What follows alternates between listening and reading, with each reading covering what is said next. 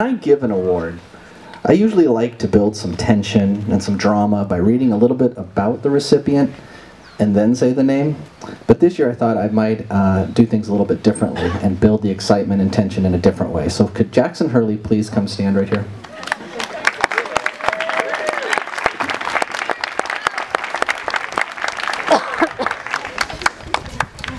Jackson began the study of calculus with me this year, although he's only a seventh grader.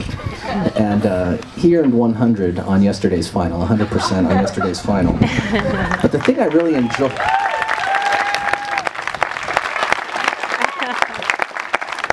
The thing I really enjoy about teaching Jackson is when all the other students, all the high school juniors and seniors, are busy taking notes, he's just sitting there with a big smile on his face, just soaking it all in. And then when I call it on him, he, he gets the answer. So before, I, before he gets the award, I think he needs to earn the award. I want to show you what I mean. I'm going to give him a function, and he's going to find the derivative of that function, which explains how the function behaves. You ready for this?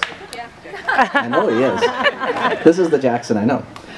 The function is this, f of x equals x squared plus x over the sine of x. Can you calculate that derivative in your head? X squared plus x over the sine of x. He says he can. Step there. One minute. For those of you who don't know the answer, okay, no peeking.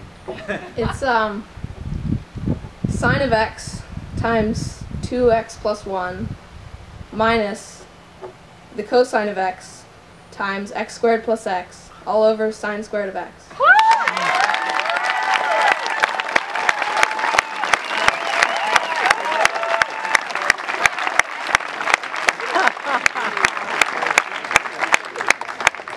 I think we all agree he's earned this award.